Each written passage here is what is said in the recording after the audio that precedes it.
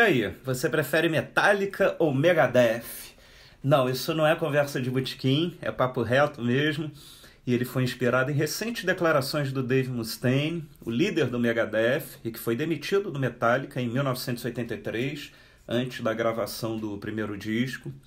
E nessa entrevista ao site Rock Hard, o Dave Mustaine mais uma vez dá a entender que ainda não superou a sua demissão Indagado se participaria de mais algum show dos Big Four, ele disse que o Lars Ulrich, o baterista do Metallica, ficaria assustado de fazer parte do mesmo line-up do Megadeth. É, Big Four, para quem não sabe, são as quatro bandas que criaram e popularizaram o thrash metal, ou seja, o Metallica, o Megadeth, o Slayer e o Anthrax. Ele disse: Não é sobre o Big Four. Eu acredito que Lars tem medo de tocar junto com o Megadeth. O Mustaine, né, falou. Aliás, essa briguinha aí rende até hoje. Recentemente, o líder do Megadeth não permitiu que o Metallica lançasse uma versão estendida de No Life Till Later, uma demo gravada, gravada pelo Metallica em 1982, quando ele ainda fazia parte da banda. Ele disse: Eu não lhe dei os direitos e não vou fazer parte disso. Eu escrevi Mechanics e Jump in the Fire integralmente e eu não vou dar nada ao Lars. Ele pode desistir. Em Phantom Lords eu escrevi toda a música e o James Hetfield fez a letra, 50-50. Se o James quiser dar a sua parte pro Lars, porque ele tem medo do Lars, aí é problema dele. Eu não tenho medo do Lars e eu não vou dar a ele a minha parte, disse o Dave Mustaine na mesma entrevista. E não parou por aí não. Ele continuou lá, metralhadora giratória dele, ele disse: "Eu não estou dando nada ao Lars Ulrich. Todo mundo sabe que ele eles têm os direitos sobre o passado, passado é passado, mas eu não posso chegar a um acordo com essas pessoas e dar ao Lars crédito por algo que ele não só não fez, como também foi incapaz de fazer. Ele não escrevia músicas tão boas, ele disse. Bom, quando falamos em Lars Ulrich e Dave Mustaine, a gente sabe que está falando de duas das pessoas mais complicadas do rock. E quando os dois resolvem se bicar, aí que a situação fica mais tretada ainda. E eu não pretendo entrar nessa briga. Os caras se conhecem, sei lá, desde, desde que eu nasci. E acredito que cada um tem os seus motivos para não ir um com a cara do outro. Fica difícil racionalmente você tomar algum partido, né, sem conhecer tudo lá que envolve. E nesse papo reto, na verdade, o que eu quero colocar na mesa mesmo é a eterna discussão: Megadeth ou Metallica? Qual banda você prefere? Essa questão é muito comum aqui no canal, seja quando eu posto vídeo sobre o Metallica, seja quando eu posto vídeo sobre o Megadeth. Sempre tem comentário comparando uma banda a outra. E no fim das contas, é uma questão de gosto mesmo, né? Não é nada matemático. E já que eu estou perguntando a vocês, eu também vou ter que dar minha opinião, senão vocês vão reclamar, né? Se eu terminar esse papo reto agora só perguntando. Então, vamos lá. Bom, Metallica partiu na frente, né? Antes do Megadeth lançar o seu primeiro disco, Killings in My Business and Business is Good, de 1985. O Metallica já tinha lançado seus dois primeiros discos, que são considerados por muitos fãs do Metallica os dois melhores álbuns da banda. O Kill Em All, de 1983, e o Ride the Lightning, de 1984.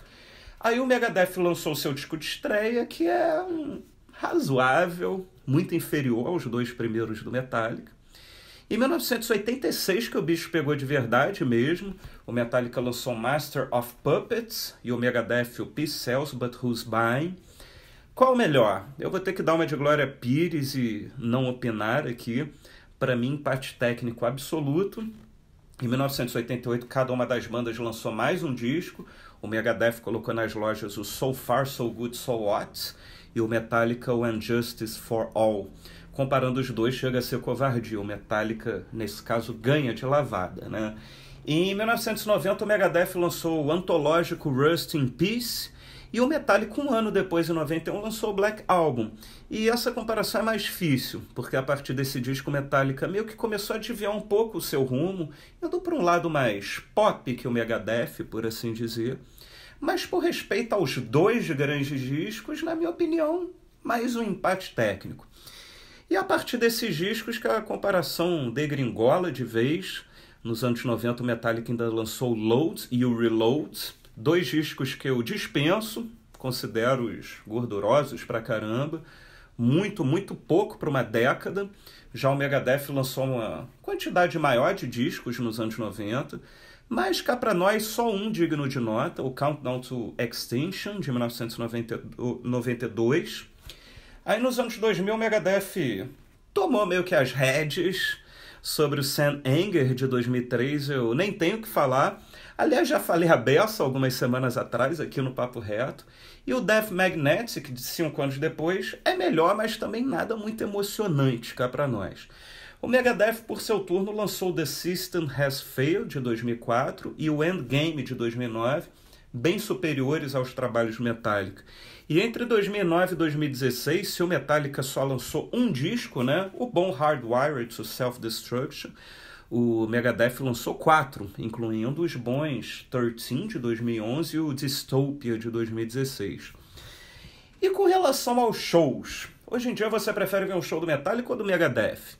Eu já vi alguns shows dessas bandas, vi recentemente até o Megadeth, a última turnê deles, na minha opinião é mais uma covardia. O show do Metallica se transformou praticamente em um desfile de moda, com gente, de um modo geral, não todo mundo, lógico, que não conhece mais de duas músicas da banda, nem sabe quem foi Cliff Burton, nem sabe que o Metallica lançou algo antes de, sei lá, Nothing Else Matters.